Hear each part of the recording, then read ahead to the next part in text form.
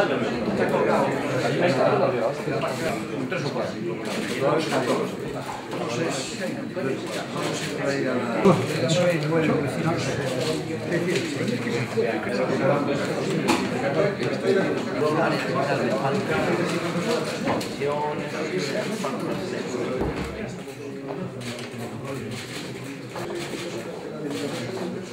2020 un balance moi positivo dende o Comité de Dirección do Partido Popular de Galicia, son 217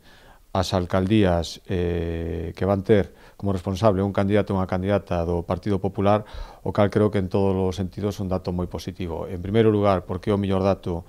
eh, pois no que levamos de século XXI, é dicir, en 11 anos, en tres eleccións municipais, eh, moi importante tamén porque mm, rompemos esa tendencia que tiña dende ano 95 o Partido Popular de Galicia. Ben é certo que dende cifras moi altas, pero dende ano 95, en eleccións municipais, sempre se eh, empeoraba resultados, sempre se iba baixando, rompeuse esta tendencia, aumentamos porcentaxe de voto e eh, volvimos a, a cifras de alcaldías eu creo que moi salientables, pero, xa digo, recuperando voto e rompendo esa tendencia que había sempre de ir eh, baixando os resultados das municipais respecto aos apoios que tenía o Partido, o Partido Popular de Galicia. E por último, en terceiro lugar, creo que tamén moi salientable que cumplimos ese objetivo, eh, finalmente cumpliuse que anunciábamos antes das eleccións de gobernar en dous de cada tres concellos de Galicia, esa porcentaxe de eh, 217 concellos nos acerca, nos coloca prácticamente no 70% dos concellos de Galicia Galicia que van ter un alcalde unha alcaldesa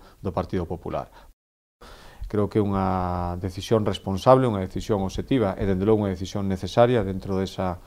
eh, intención que temos de profesionalizar cada vez máis eh, a xestión nos concellos, de ter cada vez máis formados os nosos políticos de acometer eses cursos que xa digo que empezarán eh, nun par de semanas que se irán celebrando